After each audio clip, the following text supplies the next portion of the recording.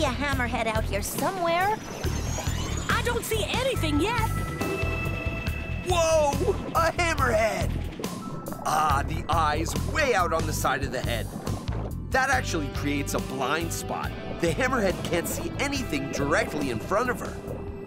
Ah, sometimes a creature weakness is needed to have a great creature's strength. Very profound, Martin. what is so important and beneficial about that hammerhead that would be worth creating a blind spot? The hammerhead seems to be searching the floor, swinging that hammerhead side to side. There's nothing even moving, but the hammerhead seems to zero in. And then with that mouth under her head, attacks the sand. She caught a flounder! So how in the creature world did a hammerhead shark find a fish hidden in the sand that wasn't moving? Okay, let's review what we know. All sharks have these senses on their nose and face that help them hunt. Oh yeah, called ampullae of Lorenzini. Ha, really nailed that one. These detect electrical impulses that help a shark zero in on its prey when it's close. So, like other sharks, the hammerheads must have these too. And I'm noticing it has so many ampullae of Lorenzini that cover its much wider hammer-shaped head. So the shape makes room for even more of them.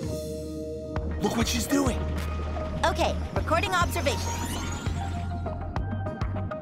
Cruising the bottom, hammerhead close to the sand. Bites the sand and comes up with a flounder! Oh, that hammerhead shark knew exactly where the fish was hiding. So with that wide hammerhead filled with so many ampullae of Lorenzini, this shark can really scan for electricity.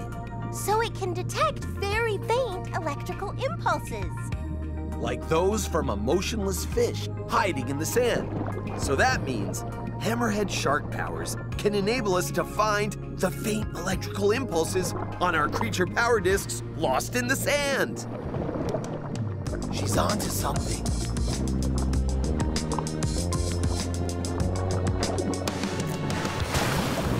A stingray!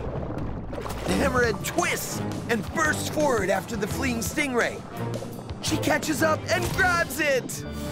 Another meal for the hammerhead shark. Wow, hammerhead shark powers are awesome! Oh, yeah. I understand how all this works now.